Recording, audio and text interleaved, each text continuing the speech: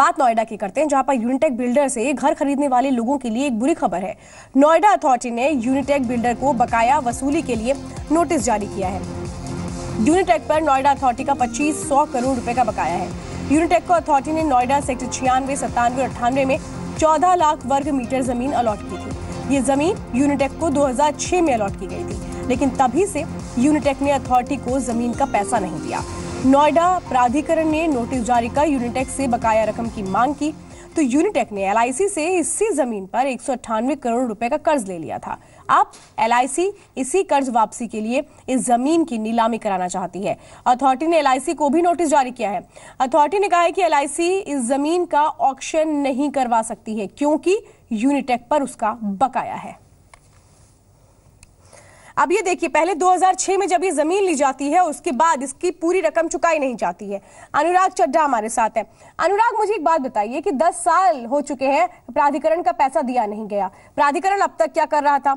एक तरफ़ कंस्ट्रक्शन हो रहा है, लोगों के साथ ठगी सीधे सीधे एल ने कैसे लोन दे दिया? जी, बिल्कुल, श्वेता, यही सबसे बड़ा सवाल है कि एल ने जो जो लोन दिया है, उसमें जो तकनीकी खामियाँ थी, वो क्यों नहीं देखी गई? और का करीब बकाया था तो एलआईसी ने उसको लोन कैसे दे दिया?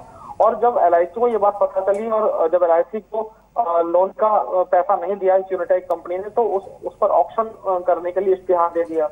लेकिन वो तो भला वो की नोएडा अथॉरिटी के जो ऑफिसर्स थे उन, उनकी नज़र चढ़ गई विज्ञापन पर और एल को इस नोटिस कहा कि हम्म। ज़मीन तो हमारी है क्योंकि अभी तक 2500 करोड़ रुपया जो बकाया था वो अभी तक उस बिल्डर ने नहीं दिया है। तो इसका ऑप्शन दूसरी लोन देने वाली कंपनी कैसे कर सकती है? तो उसके बाद कहीं ना कहीं नोएडा अथॉरिटी के जो ऑफिसर्स थे, वो हरकत में आए और उन्होंने आनंद फानंद में इस बिल्डर के खिलाफ कार्रवाई करनी शुरू कर दी। कई तरह के नोटिस दिए गए और उसमें ये बताया गया कि आपके ऊपर इतना रुपए बकाया है, इस इस मद में बकाया है, इस इस डेट में बकाया है, ये ड्यू डेट थी, लेकिन जब पैसा नहीं दिया गया तो उसके बाद डिफॉल्टर सूची में यूनिटेक बिल्डर्स को शामिल कर दिया गया। सवाल सबसे बड़ा यह है कि अब अथॉरिटी भी कल कल को इस ज़मीन का ऑप्शन करके अपना पैसा ले लेगी। एलआईसी को भी अपना पैसा कैसे ना कैसे मिल जाएगा, लेकिन जिन लोगों ने इन्वेस्ट यहाँ पर किया है इस बिल्डर के यहाँ पर और उन्होंने अपने आशियाना का एक सपना यहाँ पर देखा है तो उनको न्याय कौन देगा? श्वेता। यानी सीधा सीधा चीटिंग हुई है लोगों के साथ।